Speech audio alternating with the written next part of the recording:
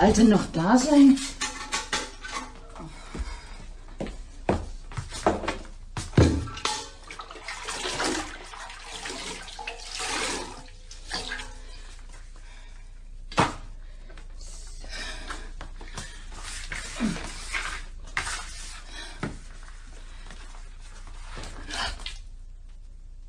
Oh mein Gott.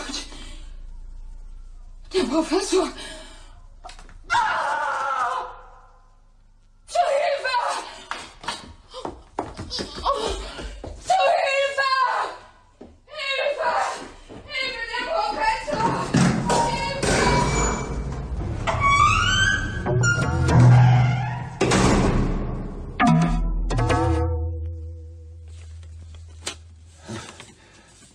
Was liegt an?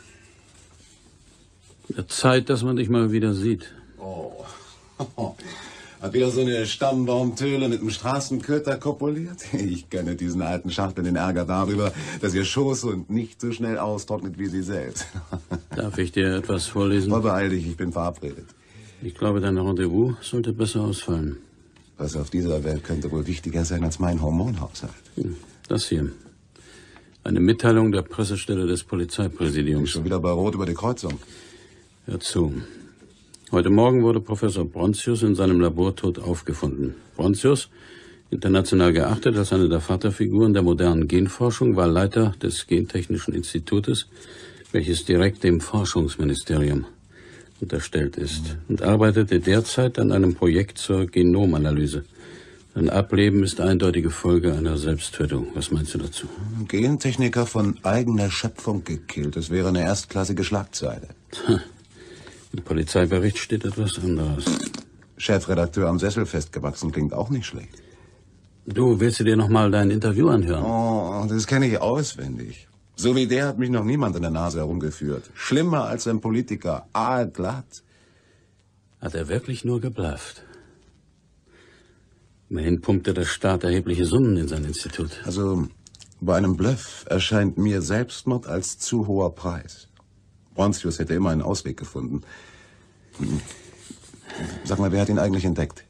Eine Putzfrau. Christine Hegedorn. Die Putzfrau ist ja geradewegs wie im Krimi. Ich tippe auf Dreieckskonflikt. Mafia oder Gärtner. Und du wirst den Reporter spielen, der das aufdeckt. Hier steht ein Herr von der Presse. Er möchte sich im Institut umschauen. Alle Informationen, die er benötigt, erhält er vom Polizeipräsidium. Mein Name ist Westler. Sagen Sie ihm das bitte. Er meint, er hieße Werstler. Westler. Ja, ich erinnere mich. Also gut, schicken Sie ihn auf.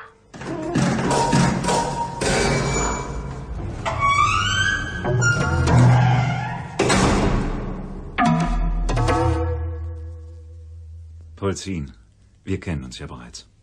Mit diesem Interview damals war ich nicht eben zufrieden. Und wir nicht mit Ihrem Artikel.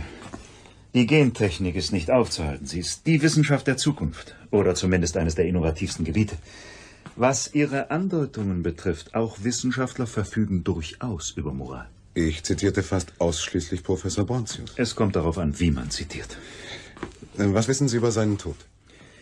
Nicht mehr als das, was die Polizei herausfand. Der Tod trat gegen drei Uhr morgens ein. Als ich kam, hatten sie ihn längst abgeholt. Ungewöhnliche Zeit für einen Institutsaufenthalt. Keineswegs. Wenn den Professor ein Problem beschäftigte, verließ er oft tagelang nicht das Institut. Glauben Sie an Selbstmord? Ich sehe keinen Grund, den Ermittlungen zu misstrauen. Würden Sie mir jetzt bitte zeigen, wo man ihn fand? Tut mir leid. Schade. Ich meine, können Sie sich wenigstens denken, ich- hatte er ein Motiv für diese Tat? Es waren sicher mehrere Gründe. Zum einen wurde er nicht jünger. Das macht ihm arg zu schaffen.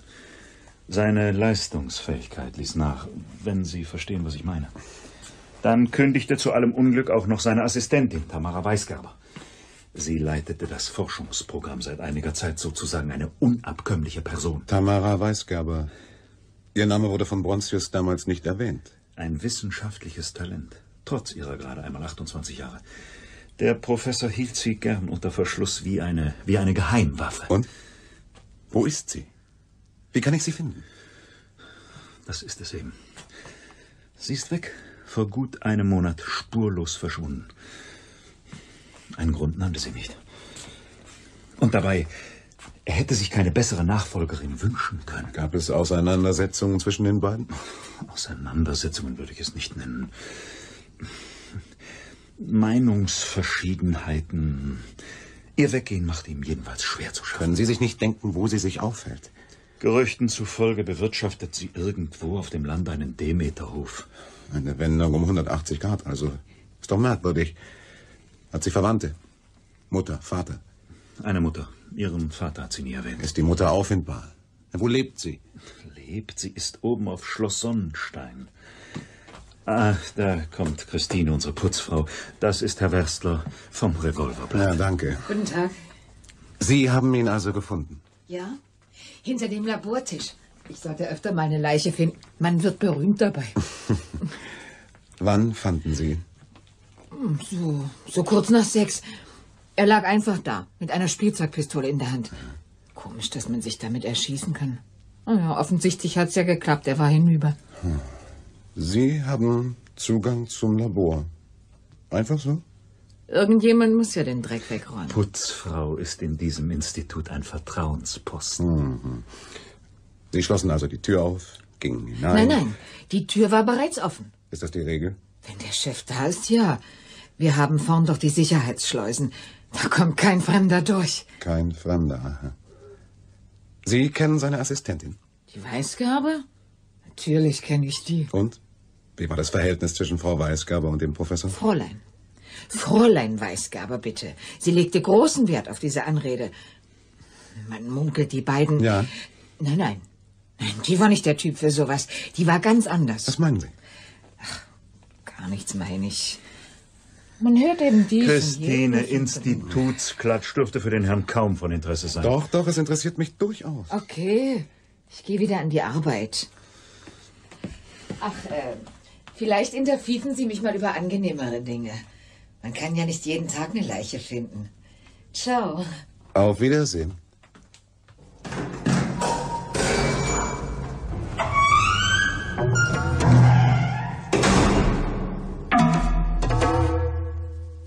Ach, der rasende Reporter. Was gibt es denn? Der Artikel fertig. Chef, die Sache stinkt. Naja, das sagst du jedes Mal. Ich habe eine Nase dafür. Du witterst überall Kloaken. Das ist keine Kloake, das ist ein Riesenpfuhl. Wir sind an einer Riesensache dran. Mein Lieber, ich will einen Artikel und keine Ahnung. Ja. Womit beschäftigte sich Bronzius zuletzt? Weißt du, das kann man so konkret nicht eingrenzen. Aha. Eine hormonale Steigerung der Hirnfunktionen. Turbo-Brain. Organtransfer. Naja, diese Gentechnologen haben ihre Finger überall drin. Apropos Organtransplantation, da hätte ich hier was ganz Feines für dich. Lies mal. Menschliche Vorhaut, menschliche embryonale Haut und Muskeln, menschliche embryonale Niere, gesamter menschlicher Embryo, menschliche embryonale Leber, menschliche embryonale Hypophyse, embryonale Lunge, Neger, männlich. Was ist das? Ein Auszug aus dem Bestellkatalog der Genius Pharma Company. Auch bei uns gründen sich erste Niederlassungen. Außerdem beschäftigen sie sich mit Gentechnologie. Nicht schlecht. Sonst noch was? Du hast dich doch sicher umgehört. Ja, an Bronzius Forschungen scheiden sich die Geister. Zwischen und unter Ärzten, Juristen und Ethikern werden Pro und Contra so heiß diskutiert wie nie zuvor. Seit Jahren arbeitet die Regierung an einem neuen Gengesetz. Immer wieder wird die Annahme verschoben. Könnten da nicht sogar Autonome zugeschlagen haben? Ja, hier scheint alles möglich. Wir brauchen aber Fakten. Ja, ja. Mal was anderes. Erinnerst du dich an diese Stelle im Interview? Brontius hielt es für wahrscheinlich, dass man eines Tages Menschen für bestimmte Tätigkeiten durch gentechnische Eingriffe gezielt qualifiziere. Er sagte tatsächlich gezielt qualifizieren.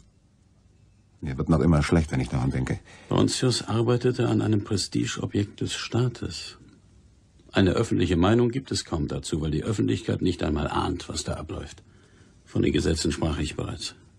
Und Moral? Auf diesem Gebiet? Die Aktienkurse der Konzerne, welche sich mit sogenannten Biotechnologien beschäftigen, steigen ständig. Es gibt regelrechte Dschungelkämpfe zwischen den Unternehmen. Das klingt doch verdammt einträglich. Hm. Gebrauchen könnten wir die Story. Aber pass auf dich auf. Ja. Unterrichte mich sofort, wenn du etwas erfährst. An der offiziellen Version will scheinbar keiner rütteln lassen. Selbstmord. Aber wie sagte schon der Dichter, es ist was faul im Staate Dänemark.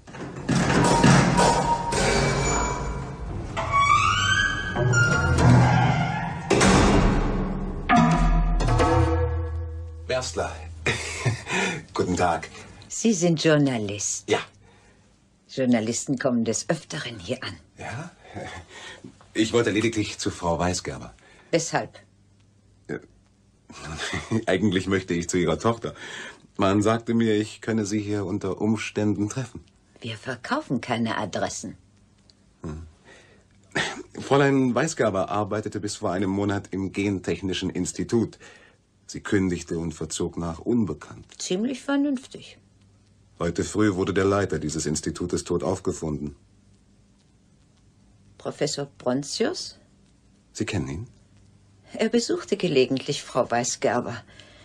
Soviel ich weiß, arbeitete unsere Patientin ehedem mit ihm zusammen. Damals war er noch nicht so berühmt wie heute. Weshalb ist Frau Weisgerber bei Ihnen? Sie wurde vor fünf Jahren eingeliefert. Permanente Wahnvorstellungen. Sie entwickelt apokalyptische Visionen von einem Menschengeschlecht, das sich selbst in den Untergang manipuliert. Auf dem Bettlaken, in der Toilette, an der Teekanne, überall warnen ihre Inschriften vor den Genies, wie sie ihre Homunkuli nennen. Könnte das mit Ihrer ehemaligen Arbeit zusammenhängen? Oh, Sie versuchen sich wohl auch als Psychologe. Welchen Eindruck haben Sie von Fräulein Weisgerber? Eine korrekte Frau, die sich sehr um ihre Mutter kümmert. Mhm. Sie kommt wöchentlich zweimal zu Besuch. Sagen Sie, könnte ich Frau Weisgerber vielleicht einmal sehen? Frau Weisgerber ist verschwunden. Seit wann? Seit vorgestern Nacht. Aber Frau Weisgerber ist kein Einzelfall. Viele Patienten verschaffen sich auf diese Weise hin und wieder einen kleinen Urlaub. Die Fantasie, die sie dabei entwickeln, ist mitunter beneidenswert. Und wie einfallsreich sind dabei die Journalisten? Unterer Durchschnitt. Aha. Ich wäre Ihnen trotzdem dankbar, wenn Sie sich in Ihrer Zeitung für unsere Klinik einsetzen könnten. Mal sehen, ob mein Potenzial dazu reicht. Unsere Mittel werden fortwährend gekürzt. Wir besitzen keine hinreichenden Sicherungsanlagen. Die Personalstärke wird abgebaut. Glücklicherweise erhalten wir einen Teil der notwendigsten Medikamente kostenlos. Vom Staat? Sie Fantast. Das Gesundheitsministerium kennt doch nur den Rotstift. Natürlich von der Pharmaindustrie. Testen Sie hier Medikamente? Junger Mann, schauen Sie lieber aus dem Fenster. Ist das nicht ein herrlicher Ausblick? Sehen Sie dort das herankommende Auto? Das Fräulein Weisgerber fährt auch ein Automobil dieser Marke. Und nun entschuldigen Sie mich bitte, ich habe zu tun.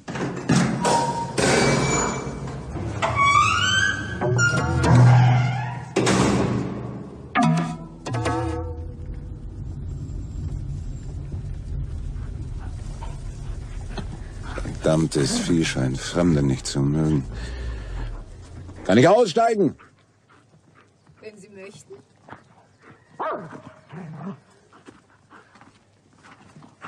Schlimmstenfalls muss meine Versicherung zahlen. Feiner Empfang. Wäre ich zu Fuß gekommen, hätte der mich glatt zerrissen. Das wäre schade. Sie haben recht. Ich komme vom Tageblatt. Werstler, mein Name. Sie sind Tamara Weisgerber? Sie wollen mich besuchen? Auf diese Idee ist schon lange niemand mehr gekommen. Mich beschäftigt der Fall Brontius. Ich gehe voran. Nun kommen Sie schon.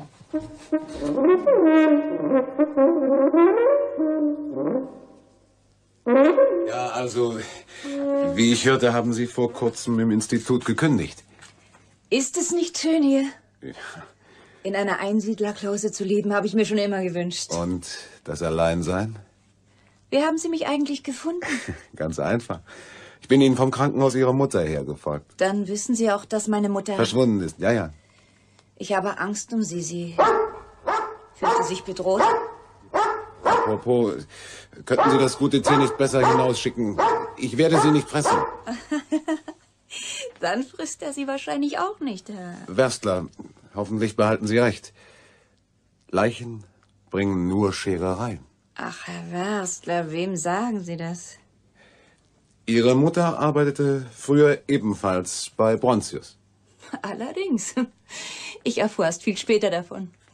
Ich begriff lange nicht, weshalb er sich dermaßen intensiv um mich kümmerte. Mhm, Ihrer Formulierung entnehme ich, dass Sie es jetzt wissen. Eines Tages, ich ging noch zur Schule, kam er uns besuchen. Ich hatte damals nicht die geringste Ahnung, wer er war. Er erkundigte sich über die Schule, sprach über seine Forschungen, ließ mir kleinere Fachaufsätze da. Die Sache interessierte mich. Aha. Später fragte er, ob ich nicht in seinem Labor anfangen wolle. Ich hatte sehr gute Zensoren, man hätte mich überall genommen. Ich ging zu ihm und er führte mich wie an unsichtbare Hand. Er räumte mir alle Steine aus dem Weg. Ich wurde seine Assistentin, konnte nach meinen Intentionen forschen. Faulenzen war das Einzige, was er nicht gestattete. Nicht eben gewöhnlich, dass sich ein Mann seines Formats einfach so um ein fremdes junges Mädchen kümmert. Das empfand ich ebenso. Ich kannte ja meinen Vater nicht. Er nahm sich meiner wie ein Vater an und ich liebte ihn dafür. Vielleicht wie man einen Vater liebt, bis ich. Bis was? Interessiert es Sie wirklich? Ja, natürlich. Das freut mich. Wissen Sie, meine Mutter hatte nie von ihrer Zusammenarbeit mit Bronstius gesprochen. Nach meiner Geburt fing sie auch nicht wieder bei ihm an. Als ich dann in seinem Labor die Arbeit aufnahm, kamen ihre Wahnvorstellungen. Sie schrie und weinte tagelang, flehte mich an, ich sollte diese Arbeit aufgeben, versuchte sogar, mich in der Wohnung einzusperren. Ich sprach mit Bronzius darüber. Wir mussten sie einliefern lassen. Sie haben Ihre Mutter ins Irrenhaus gebracht. Ich wusste mir keinen Rat mehr. Sie drohte mit Selbstmord. Ja, Sie sagten, Sie hätten Brontius geliebt wie Ihren Vater. Wann kam die Abwendung? Bronzius war ein hervorragender Wissenschaftler, ein Mann, dessen Ausstrahlung man sich nicht entziehen konnte. Er weigerte sich, die Schranken, die die Natur uns setzt, anzuerkennen. Die unbefleckte Empfängnis hörte auf, ein Mythos zu sein. Es könnte fast so etwas wie eine Frankenstein-Saga werden. Wollte sie ihre Mutter vielleicht warnen? Meine Mutter und ich, wir hiegen sehr aneinander. Nach diesem Zwischenfall in der Schule hatte ich niemanden außer ihr. Ein Zwischenfall? Ich war damals zwölf oder dreizehn, wissen Sie das Alter, da man seinen Körper erst richtig zu entdecken beginnt. Wir waren auf einem Klassenausflug. Die Sonne brannte, ein See lag in der Nähe, kurzum, wir gingen baden, nackt. Plötzlich zeigte mir ein Mädchen zwischen die Beine und lachte. Die anderen wurden aufmerksam und auf einmal lachten alle. Das Monstrum war entlarvt. Meine Mutter schickte mich auf eine andere Schule. Von da an ging ich allen aus dem Wege. Weshalb lachten Ihre Klassenkameraden? Sie fanden es komisch. Was? Ein Mädchen mit einem Pimmel ist doch komisch, oder? Ein Mädchen mit. mit einem. Sie brauchen nicht rot zu werden, Herr Werstler. Ich bin ein Zwitter. Wie bitte? Ich bin eine Frau, aber ich besitze die Geschlechtsorgane von Mann und Frau. Sie müssen nicht weiter erzählen, wenn Sie nicht möchten. Und wenn ich möchte. Wollen Sie noch ein Glas Wein? Vielleicht hätten Sie Ihre Arbeit doch nicht aufgeben sollen. Ach ja. Wussten Sie, dass Bronzius bereits am Menschen experimentierte? Er war viel weiter, als Sie sich vorstellen können. Ich hatte gedacht, der Staat wacht darüber, wofür er sein Geld ausgibt. Die entsprechenden Behörden wussten tatsächlich Bescheid. Aber was sollten sie machen? Sie mussten tolerieren, was dort geschah, denn sie waren als Mitwisser erpressbar geworden. Sie selbst kümmerten sich darum, dass nichts an die Öffentlichkeit gelangte. Andererseits kennen wir gut 3000 Erbkrankheiten. Wenn nicht durch Gentechnik, sind sie durch gar nichts auszumerzen. Von Krebs und AIDS muss ich wohl gar nicht erst sprechen. Können Sie mir beweisen, dass das nicht nur Fiktionen sind? Die Versuche, meine ich. Wie schon gesagt, ich genoss sein volles Vertrauen. Weil mich interessierte, weshalb er sich dermaßen für mich einsetzte, las ich in seinen Unterlagen. Ich wollte herausfinden, wer er wirklich war. Nur zu verständlich. Bronzius Lieblingskind war die Genialitätsforschung. In seinem persönlichen Archiv fand ich vor gut vier Wochen einen von ihm selbstgeführten Ordner, der mich äußerst interessierte. Experimente am Menschen zur Steigerung ihrer Intelligenz. Ist das richtig? In etwa. In der Akte wurde präzise beschrieben, wie man eine bestimmte Eizelle in vitro mit einer Samenzelle verschmolz, unter welchen Bedingungen und an welchen Genen Bronzius manipulierte. Die Eizelle wurde der Spenderin eingepflanzt und jede Periode ihrer Schwangerschaft genauestens beobachtet. Das Kind wurde geboren, entwickelte sich prächtig, hatte nur einen kleinen anatomischen Fehler. Das ist doch die Geschichte des achten Tages, die Sie da erzählen. Das Kind besaß einen außergewöhnlichen Intelligenzquotienten. Es war ein Mädchen und es hieß Tamara. Finden Sie, dass Tamara ein schöner Name ist? Das heißt? Ja. Meine Mutter hatte sich für dieses Experiment zur Verfügung gestellt. Nicht zum ersten Mal übrigens, aber meine Geschwister waren nicht lebensfähig. Und der Samen kam von ihm selbst. Bronzius war mein Vater, wenn man das nur so nennen kann. Ich hasste ihn, seitdem ich das wusste. Er hatte mich in sein Labor geholt, um mich unter ständiger Kontrolle zu haben. Ich war das Objekt seiner Experimente, die ich selbst durchführte, und ich begriff, dass ich das sein würde, solange er lebte. Dann haben Sie ihn also. Ermordet? Nein. Ich glaube nicht an seinen Selbstmord. Er hätte niemals Selbstmord begangen. Ich wollte ihn töten. Vielleicht hätte ich es irgendwann getan, wenn ich nicht gegangen wäre. Ein anderer hat es erledigt. Kennen Sie seinen Namen? Nein. Ich möchte, dass Sie den Mörder suchen. Übrigens, auf dem Forschungsgebiet, das Bronzius beackerte, findet derzeit ein Wettrennen statt. Die Zielprämie ist außerordentlich hoch. Bis jetzt war mein Vater der Schnellste. Und wie hemmungslos er auch forschte, die Industrie erfuhr von ihm nichts. Wenn Sie mir helfen, werde ich den Mörder finden. Ich besorge Ihnen die nötigen Institutsunterlagen. Darin finden Sie alle wichtigen Anhaltspunkte. Wann? Warten Sie auf meinen Anruf und besuchen Sie mich wieder. Können Sie sich vorstellen, was es heißt, nicht ganz Frau und nicht ganz Mann zu sein und allein?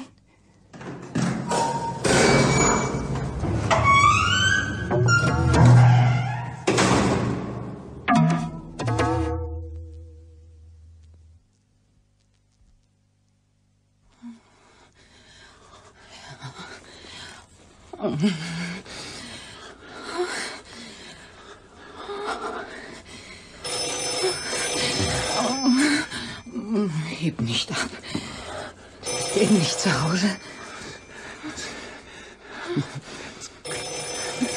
Das Klingeln macht mich aber nervös. Ich habe Angst um dich. Bitte. Ja. Ich wollte nur wissen, ob es dich noch gibt. Dich interessiert doch einzig die Auflagenhöhe. Gib's ruhig zu. Quatsch. Hast du was rausgefunden? Mach's nicht so spannend. Ich bewundere gerade die Formen, die so eine Geschichte annehmen kann. Bist du ruhig. Sobald ich ganz dahinter gestiegen bin, melde ich mich wieder. Ciao. Bitte geh nicht mehr ans Telefon. Du hast also Angst um mich. Kaum, dass wir uns richtig kennengelernt haben. Das, das gefällt mir. Mir gefällt, dass du mich eingeladen hast. Ich möchte dich noch öfter kennenlernen.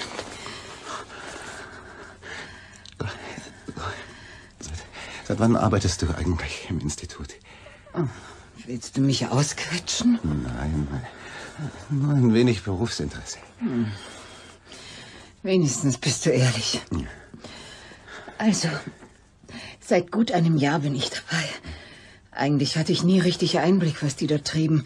Aber einmal kam ein dringender Anruf für den Chef und ich sollte ihn aus dem Keller holen. Was ich da sah, war schrecklich. Das müsstest du mir mal ein bisschen genauer erzählen. Hm? Im Keller befindet sich die Tierversuchsstation. Hat, hatte ich nicht zu suchen, aber weil er doch ans Telefon musste. Ja, dort lagen Ratten mit Geschwüren, größer als ihr gesamter Körper.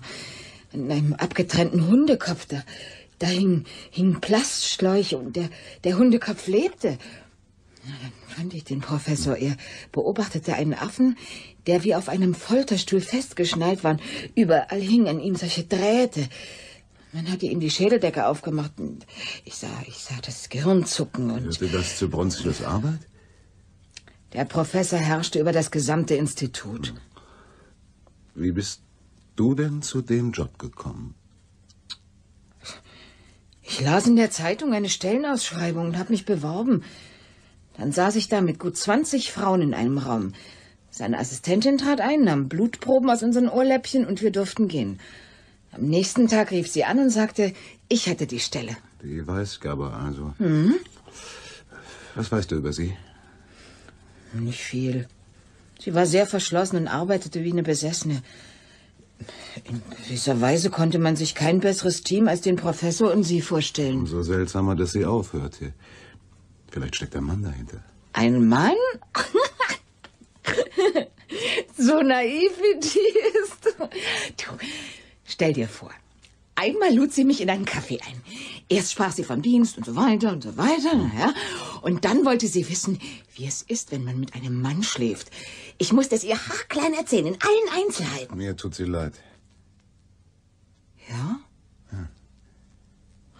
Eigentlich ist sie eine schöne Frau. Das finde ich auch. Hm. Gib nicht ab.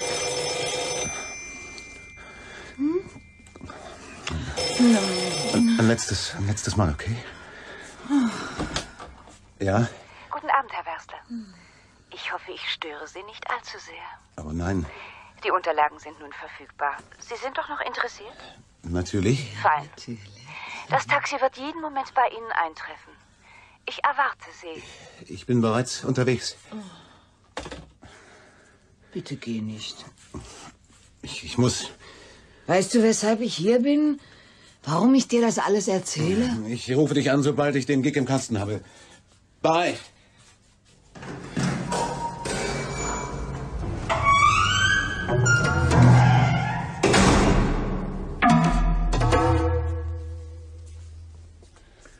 Das ist ja ein toller Schuppen. Ja, schauen Sie sich das alles nur gründlich an, Werstler. In der Industrie gibt es mehr Leute mit Geschmack, als Sie vielleicht denken. Wo befinden wir uns und wo ist Fräulein Weisgerber? Ihre Neugierde ist verständlich. Tamara kleidet sich gerade um. Das Haus ist alter Adelsbesitz. Die Herrschaften versuchten, was sie nicht verstanden. Sie spekulierten an der Börse.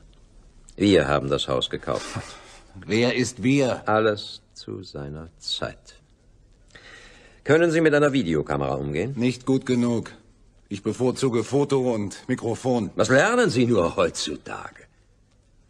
Wir werden Ihrer Redaktion eine Kamera schenken. Wissen Sie, eines unserer Tochterunternehmen arbeitet im Videobereich. Florierendes Unternehmen, aber unser Geschäft läuft natürlich noch besser. Whisky oder Cognac? Scotch auf Eis, bitte. Ich begreife nicht, was das soll. Fräulein Weisgerber. Sie werden ein Interview mit uns führen. Mit Tamara und mir. Ihr Bandgerät ist doch eingeschaltet? Ja. Dann stellen Sie es doch auf den Tisch. Die Qualität wird besser. Sie können fragen, was Sie möchten. Wir werden ehrlich antworten. Natürlich erlauben wir uns, das Band zu schneiden, ehe wir es nutzen. Auf Ihr Wohl übrigens.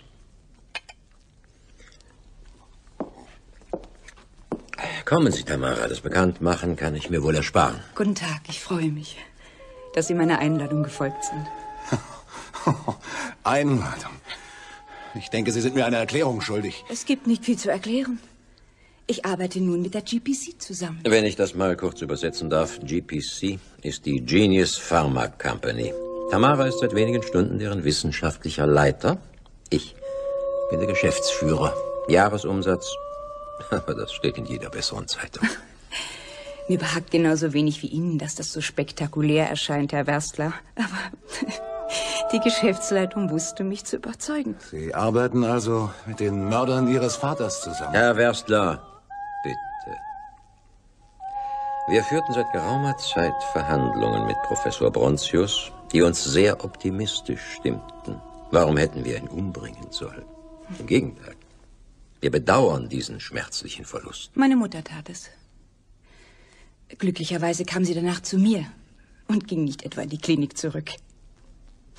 Allerdings müssen wir sie nun für eine Weile ins Ausland bringen. Es fällt mir schwer, sie nicht ständig in meiner Nähe zu wissen. Sobald sich die Wogen etwas geglättet haben, werden wir Ihre Mutter zurückholen, Tamara. In erster Linie geht es jetzt aber darum, den Vorsprung Ihres Vaters auszubauen. Gehe ich recht in der Annahme, dass die GPC das Gentechnische Institut übernehmen und die Forschungen Ihres Vaters fortsetzen will? Exakt das, junger Mann. Sein Projekt hat Zukunft. Eine Zukunft übrigens, die schon begonnen hat. Ich lernte viel von ihm. Tamara ist der einzige Mensch, der ohne längere Einarbeitungszeit und mit mindestens gleicher Effizienz wie Professor Brontius dessen Arbeiten fortführen kann. Langsam zweifle ich nicht mehr daran. Leider. Die Konkurrenz hat bereits aus der Pathologie das Gehirn meines Vaters entführt. Wir müssen schnell handeln. Kennen Sie Duckweed Oldenburg? Meinen Sie diesen Wunderknaben? Ein Pianist, der seinesgleichen sucht. Nächste Woche wird er fünf Jahre alt. Aus diesem Anlass wird er bei uns vor ausgesuchtem Publikum ein Konzert geben. Ahnen Sie etwas?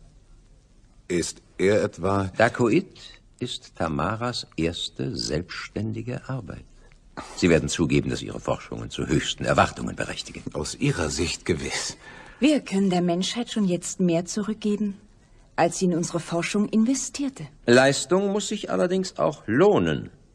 Ich wäre ein schlechter Geschäftsführer, würde ich das vernachlässigen. Gerade deshalb sollten wir langsam zum eigentlichen Gespräch kommen. Das Band muss heute noch ins Ministerium. Wir haben einige Fragen vorbereitet. Wenn Sie beginnen könnten.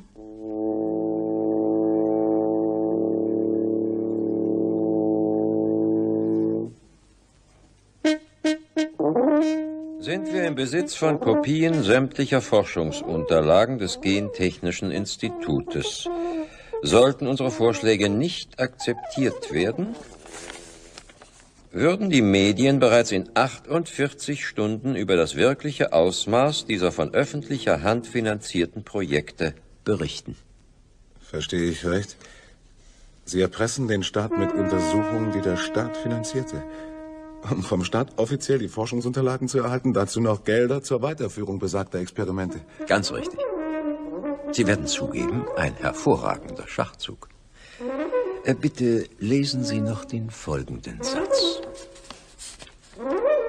Als Beweis für die Entschlossenheit und Wahrheit des Gesagten finden Sie mich in einer blauen Plastiktüte. Was soll das heißen? Uns liegt viel daran, dass man uns glaubt. Es wäre fatal, wenn wir wirklich in die Medien gehen müssten. Ich denke, dass ich nun zu meinem Recht kommen sollte. Würden Sie uns bitte allein lassen? Aber natürlich, er gehört Ihnen, wie vereinbart. Sie finden mich im Schneiderraum.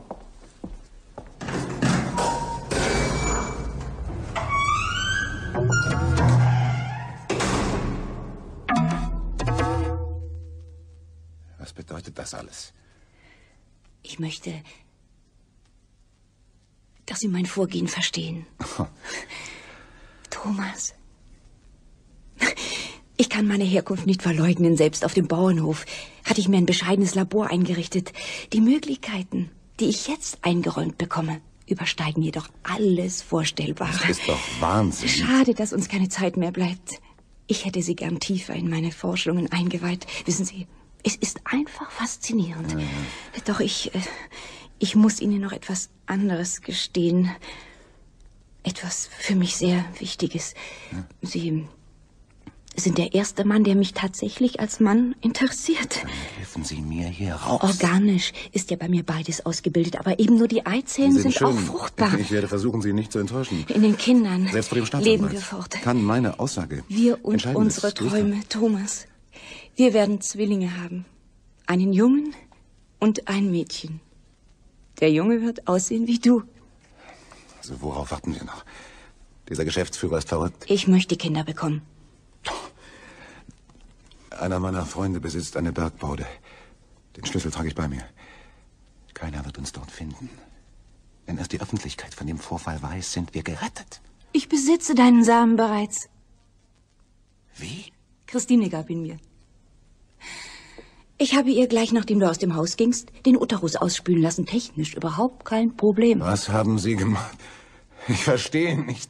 Die GPC hat Tina dafür versprochen, sie nach Institutsübernahme weiterhin zu beschäftigen. An ihr wäre dein Samen übrigens ohnehin verschwendet. Sie nimmt die Pille. Was hat dich eigentlich an ihr gereizt? Sie können doch nicht einfach von mir. Während des Vietnamkrieges wurde der Samen von 20.000 amerikanischen Soldaten in die Heimat geschickt. Immerhin 9.000 der Ehefrauen wurde schwanger. Unsere Erfolgsaussicht liegt bei 99,9 Prozent. Wie hältst du das bloß aus? Ich bin bloß ein wenig traurig, dass deine Spermien zwei, drei Jahre in der Kühlbox liegen müssen. Aber im Moment erlaubt es mir meine Arbeit nicht. Wie möchtest du eigentlich, dass unsere Kinder heißen?